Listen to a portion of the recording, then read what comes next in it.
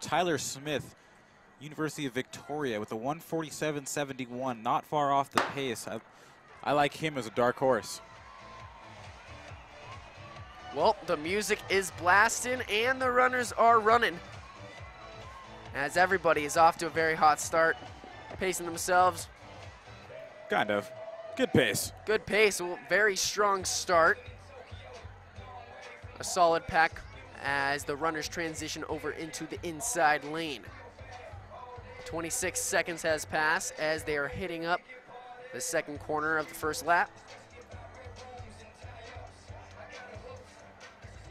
Right now, Texas A&M in the lead.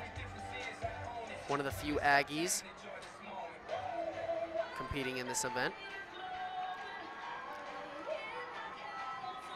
51 seconds as the first lap elapses, and the cowbell continues to ring. One more lap to go here in the men's 800 meters.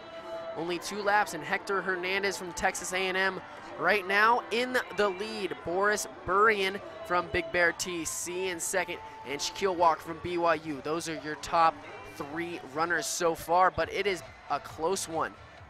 Four runners right now in the lead. They're separating themselves from the pack. That's going to be good. 122 has elapsed. Coming around the final corner.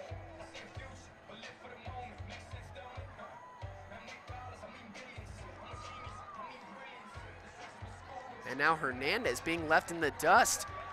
Both of the Aggies looking at that third and fourth place spot.